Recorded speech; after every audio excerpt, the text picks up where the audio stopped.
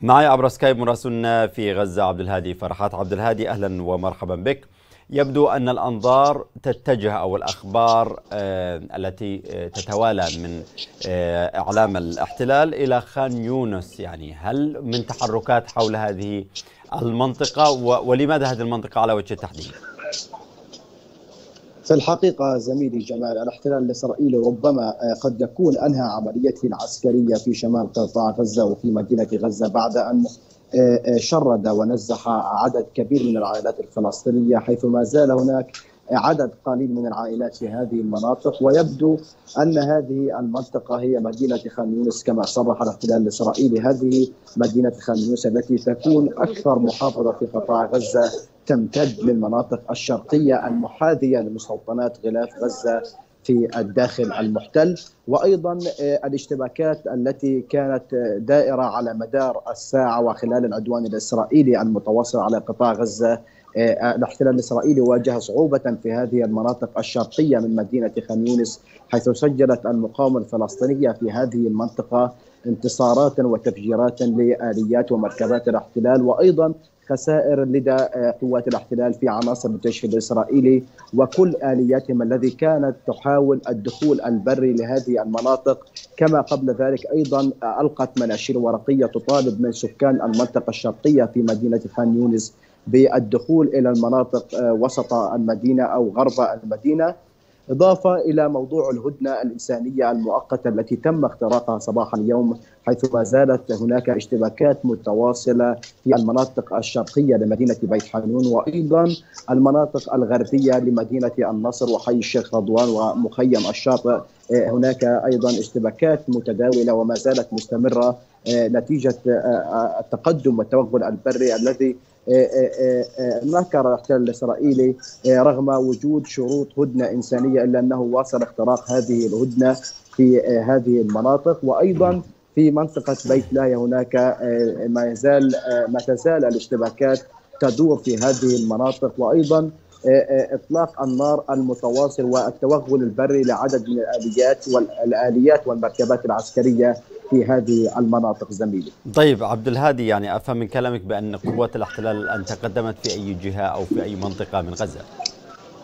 بالطبع زميلي جمال الاحتلال الإسرائيلي عندما توغل بريا في منطقة مدينة غزة كان قد وصل منطقة السرايا وما بعد هذه المنطقة إلا أنه منذ أيام آه، فوجئنا بانسحاب بري لمنطقة شارع الرشيد. هذا هذا هذا الشارع في المنطقة الغربية من مدينة غزة. انسحبت قوات الاحتلال الإسرائيلي من هذه المنطقة دون شروط ومن ثم بعد يوم أو يومين تعيد هذا التوغل إلى منطقة مدينة غزة وفي وسط هذه المدينة.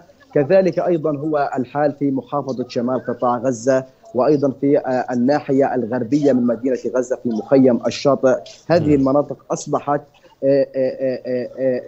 فارغة تماما من السكان والاحتلال الإسرائيلي آه، يقوم باقتحامها آه، بين الفينه والأخرى نعم. وهو الآن يسعى إلى التوغل البري شرق مدينة خان يونس ورفح طيب عبد الهادي أنت قلت بأن هناك منشورات ورقية يعني آه، تحث الفلسطينيين إلى الخروج إلى وسط أو حتى إلى غرب المدينة يعني لماذا هذه المناطق على وجه التحديد؟ آه، زميلي جمال الاحتلال الإسرائيلي منذ بداية الحرب الإسرائيلية ألقى أيضا عدد من المنشورات الورقية في مدينة آه، غزة في المناطق التي هي أصبحت الآن فارغة ومشرده ربما هناك نية للاحتلال الإسرائيلي بالتوغل والدخول البري إلى منطقة مدينة خان يونس في في الجهة الشرقية بالتحديد. وهذا ما آه، هذه السياسة صار عليها الاحتلال الإسرائيلي عندما اقتحم آه، بريا مدينة غزة ومنطقة أيضا محافظة شمال قطاع غزة في مدينة بيت حانون وبيت لاهيا وأيضا المناطق الغربية من هذه المحافظة يبدو أن هناك استكمال للعملية العسكرية الإسرائيلية على قطاع غزة بتشريد وتنزيح عدد كبير من الأسر الفلسطينية. نعم. قد يبدأها في المناطق الذي ادعى أنها آمنة وهي منطقة مدينة خان يونس. ربما آه، آه، هذا سبب آه، قد جعله الاحتلال الإسرائيلي يبرهن في هذه العملية البرية أن تم تسليم عدد من الأسرى خلال الأيام الأربعة الماضية من مدينة خان يونس والمناطق المحيطة لهذه المدينة. نعم، عبد الهادي أرى يعني الآن يعني مظاهر الحياة واضحة. يعني في المنطقة التي يعني الآن تنقل لنا الأحداث منها. يعني هل المواد الغذائية وصلت؟ هل يعني بدأ الناس بالتسوق؟ وهل هذه المواد تكفي أو تواجه يعني هذا الاحتياج؟ المساعدات الإنسانية التي دخلت عبر معبر رفح البري على مدار هذه الأيام الأربعة هي لم تكن كافية لسد حاجة الأسر النازحة والمتشردة ربما هنا المشهد في مستشفى ناصر الطبي. الكثير من العائلات يذهبون إلى السوق للتسوق أو أن يلاقوا شيئا يسد جوعهم ويسد جوع أطفالهم أيضا لكن للأسف الشديد المساعدات هي تدخل وتختفي بشكل مباشر نتيجة الأعداد المتزايدة في هذه في مناطق الجنوب بالتحديد الذي لم تعد تسد أي حاجة من هذه الاحتياجات بالسكان وأن هذه المساعدات لم تكن بالشكل المطلوب أو أنها تكون معونات غذائية شاملة أو أنها تكون أيضا الحال كما هو في الوقود الغاز الطاهي هو لم يعد كافية الطوابير ما زالت تزداد اعدادا في محطات تعبئة الغاز وكذلك تعبئة البترول لكن دون جدوى ودون فائدة بعد أن يصطف الناس في هذه الطوابير لأكثر من ساعات وربما طيب عبد عبد عبد الهادي يعني المفروض أن هذه الفترة يعني كافية لإدخال المزيد من من الشاحنات والعديد طبعا من المساعدات لكن ما الذي حدث يعني حتى تمت إعاقة مثل هذه الشاحنات وإذا ما تحدثنا عن. عن شمال قطاع غزة على وجه التحديد يعني هل بسهولة تصل هذه الشاحنات من المساعدات إلى هناك؟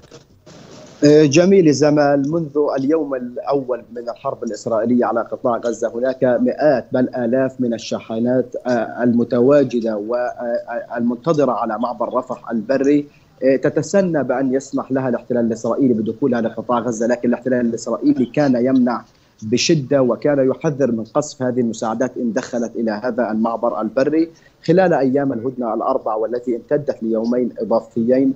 تم الاتفاق على دخول عدد محدد من هذه الشاحنات وهذا السبب الذي يجعل أن هذه الشاحنات التي تدخل إلى قطاع غزة هي لم تعد كافية. عندما نتحدث من 200 إلى 300 شاحنة تدخل إلى قطاع غزة وهذه ضمن شروط الهدنة.